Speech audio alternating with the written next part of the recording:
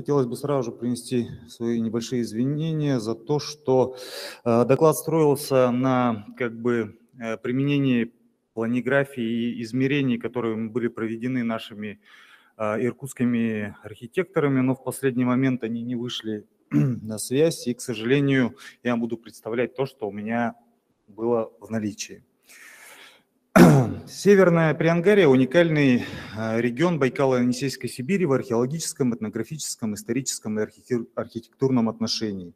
Здесь, начиная с 17 века, осела значительная часть русских первопоселенцев, осваивших Восточную Сибирь и Дальний Восток, и основавших поселения, которые в большинстве своем просуществовали до конца 20-го, начала 21 века, и были уничтожены в процессе затопления сначала Устилимского, а позже и Богучанского водохранилища. А, за время работ Богучанской комплексной археологической экспедиции 2008-2012 годов на территории, попадающей в зону затопления ложа водохранилища, помимо материалов, связанных с древними поселенческими комплексами раннего и позднего отделов Голоцена, был исследован культурно-хронологический пласт, связанный со временем русского освоения региона. В ходе раскопочных работ был получен уникальный археологический материал, связанный как с бытом русской деревни, так и с ее устройством. А, формирование североангарского быта и типа жилого комплекса происходило на протяжении всего периода освоения края, и некоторые их черты связаны с архитектурными традициями самых первых насельников региона. Первые упоминания деревни Йодорми по летописным данным относятся к 1723 году, когда проводилась перепись мужского населения Нижнеилимской и Сачной волости Илимского воеводства. Деревня, согласно этому списку, по количеству дворов относилась к однодворным деревням, которые составляли в то время самую многочисленную группу из всех поселений. В 1725 году мистер Шмидт, совершая поездку по реке Ангаре из Иркутска в Енисейск, в своей дневниковой записи от 5 июля упоминает о трех печных трубах в деревне Йодорма.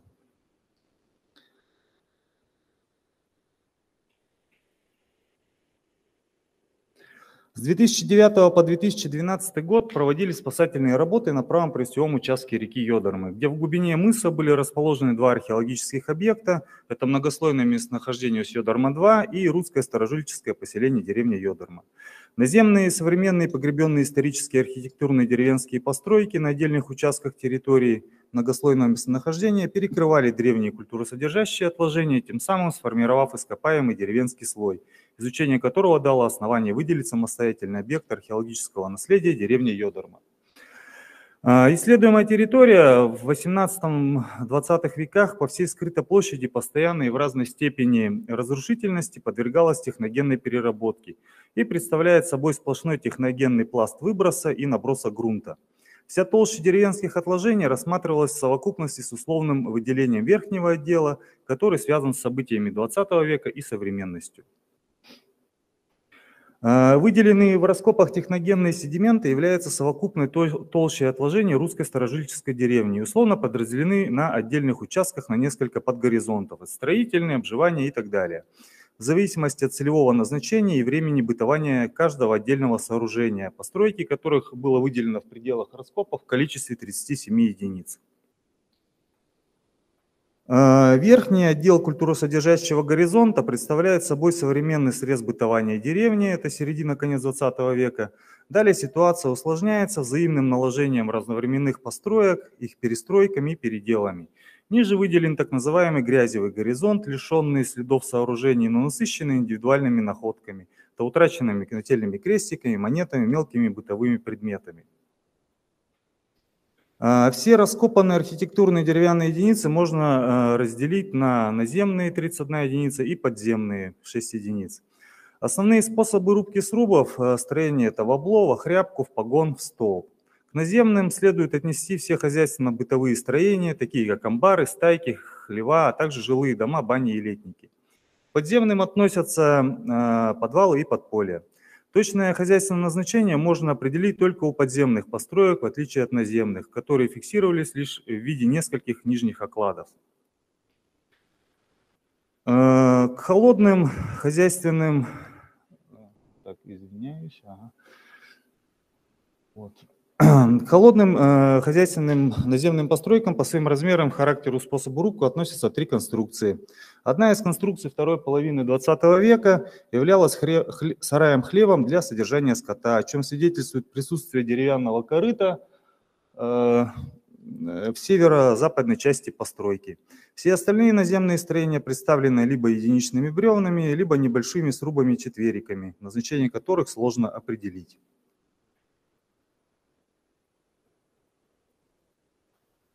Как уже отмечалось, подземные постройки представлены подвалами и подпольями. Но от середины 20 века датируются три подполья, а палубка двух выполнена из вертикально поставленных досок, набитых металлическими гвоздями на каркас из кругляка. В одном варианте верхнее перекрытие обшито, ну, в данном случае, кусками рубероида. А палубка третьего подполя выполнена из лиственничного кругляка диаметром около 15 см, рубкой в погон, исключающая расхождение бревен при давлении земли на внешний периметр сруба. Также из лиственницы выполнена а, отгородка в отсек для земного хранения, ой, извиняюсь, для зимнего хранения овощей. Спуск под поле представлен лестницей из сосны, врубленной в верхний венец опалубки. А, ну вот концом 18-го, середины 19 века датируются другие три подполя. У всех опалубка выполнена лиственничным кругляком, рубкой в погон и в обло с остатками до 15 сантиметров. Читаются четкие границы ям, в которых выполнены данные конструкции. В одном подполе верхнее перекрытие обшито было берестой. В нем также была зафиксирована лестница из бревна э, с набитыми поперечинами, э, деревян, ну, прикреплены деревянными типа гвоздями. Э, материальный комплекс хозяйственной деятельности старожильческого русского населения представлен огромным массивом разнообразного археологического материала. Самым массовым являются фрагменты керамической посуды бытового назначения. К сожалению, не было найдено ни одной целой емкости или частей, собирающихся в относительно целые формы. Преимущественно это фрагменты кухонной и амбарно-подвальной посуды. Преобладают горшки и миски средних размеров. Часть находок представлена мелкими фрагментами фарфоровой и фаянсовой посуды, а также несколькими фрагментами чугунков. Также к предметам кухонного назначения относится фрагмент деревянной резной ложки. Фиксировали скованные гвозди и пробои, фрагменты металлических изделий, представленных косами, серпами, крючьями. Также было найдено большое количество крицы, что, возможно, может указывать на местное кустарное металлургическое производство. Основная часть найденного археологического материала представляет собой остатки материального комплекса э, охотничьего рыболовецкого хозяйства Таежной береговой русской деревни. Сюда относятся каменные керамические грузила для сетей, рыболовные крючья самоловов, ножи, пищальные кремни, замки из кремнев, от кремневых пищалей, металлические наконечники, э, фрагмент костяного наконечника, фрагмент металлического гарпуна, проколки металлические, топоры – но одним из датирующих элементов слоя можно считать монеты, наиболее древняя из которых э, датируется 1771 годом, самая поздняя 1914 годом. А, произведения декоративно-прикладного искусства 18-19 веков представлены двумя целыми православными медными нательными крестиками и одним фрагментом серебряного. Ну, также в составе находок имеются четыре костяных гребня, украшения, кольцо и предметы конской сбруи.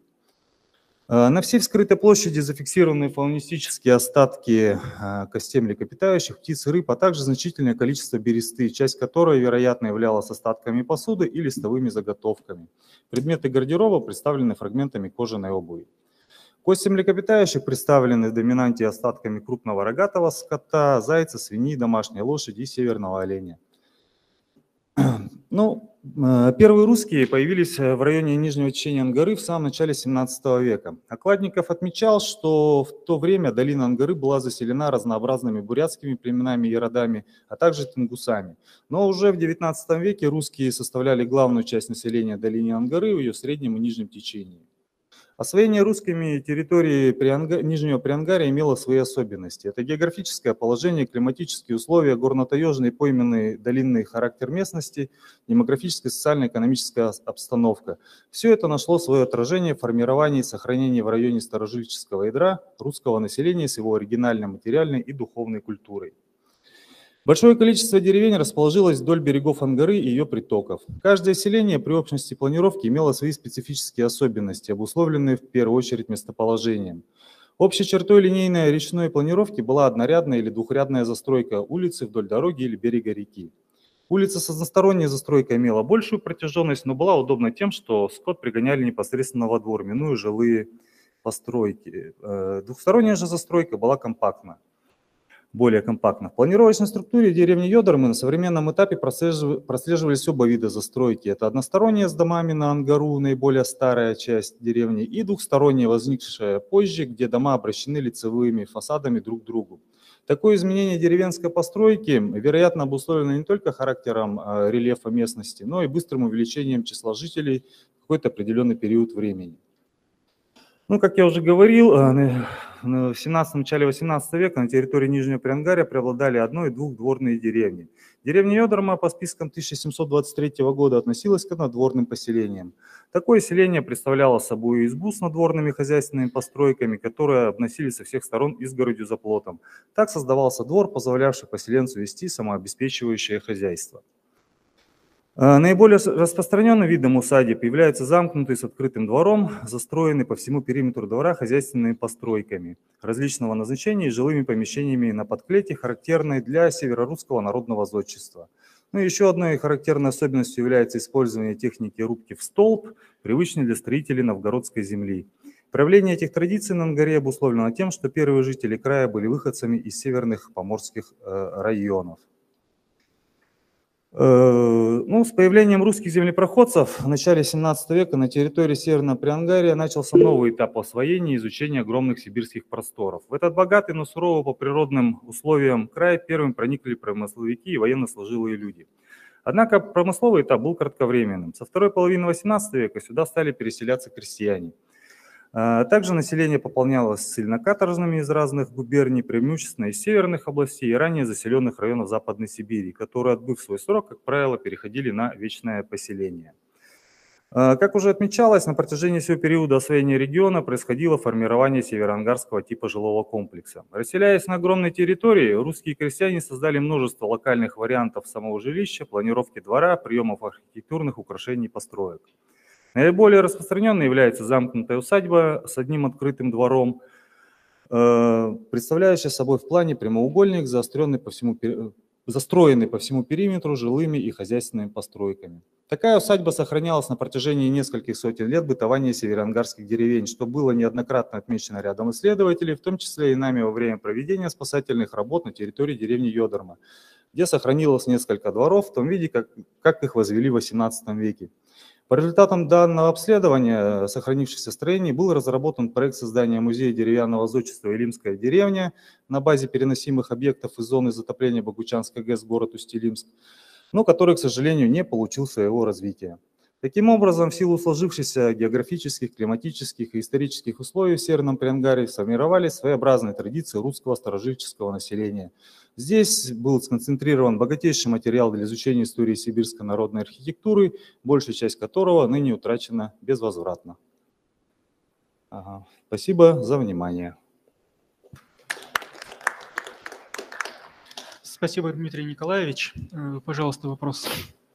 А, скажите, по поводу многокамерности можно выделить э, избы, пристроенные друг к другу, избы связью, а, ну, к сожалению, подобного, ну, подобного типа построек нами не были отмечены, чтобы вот были такие вот пристройки. То есть, То есть все отдельно стоящие? Да, все отдельно стоящие. И плюс, э, так как деревня продолжала существовать, то очень многие э, вот эти древние постройки, да, которые были нами выкопаны, они ну, были частично разрушенными, уже более э, свежими, да, какими-то деревенскими постройками, которые ну, в то время еще находились на поверхности. А печные развалы были в ямах? Нет ни одного печного развала. Интересно. А вот скажите, там а, есть разница, если по возрасту а, глубин ям, ну, скажем, более древние, не столь глубокие, более современные, очень глубокие? Э, да нет, в принципе, глубина залегания не такая большая, э, учитывая, что нами отмечалась вот эта сезонная мерзлота, да, особенно когда мы вот, ну, начали разбирать вот эти э, найденные нами э, ну, подвалы, да, подполья, то вот эта сезонная мерзлота, она и уже, ну, как бы уже в, 20, ну, в 21 веке она продолжала существовать в качестве чуть ли уже не вечной. Видимо, этим ограничивалось все же углубление, да, э, ну, вот именно вот этих самих э, строений. То есть подвалы были неглубокими сами по себе, где-то максимум Сколько? полтора метра. Ага, все, спасибо. Э, Пожалуйста, Вопрос. Александр Юрьевич. Э, Интересно, чем можно объяснить столь малое количество тельников при столь значительных скрытых площадях?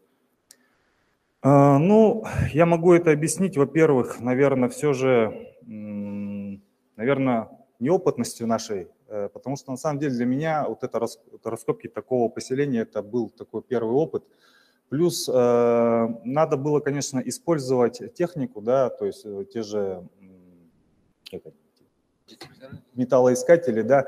То есть я знаю, что так было намного больше там крестов тельников, но, к сожалению, когда мы вернулись к работам в 2012 году, многие постройки, которые да, мы оставили с 2011 года, они уже были, ну, как бы в них побывали вот эти наши местные поисковики, и очень сильно было все разрушено.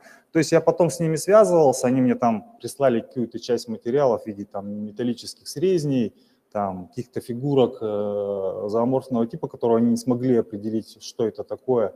Но вот такой материал, который для них представлял ценность, они все оставили себе. Пожалуйста. Еще один вопрос. Вы упомянули, э, кроме кухонной керамической посуды, еще и амбарно-подвальный тип. Э, Скажите, пожалуйста, вы э, откуда упоминание взяли? А, ну Может быть, такую ссылочку? терминологию я использовал. Во-первых, такая терминология используется при описании посуды Илимского острога при изучении. То есть это, судя по всему, видимо, какие-то вот эти крынки, банки, да, в которых могли храниться продукты да, ну, для длительного хранения. То есть по терминологии Ларисы Вениаминовны Да, да, Туровой да. это столовая посуда. Ну да. Спасибо.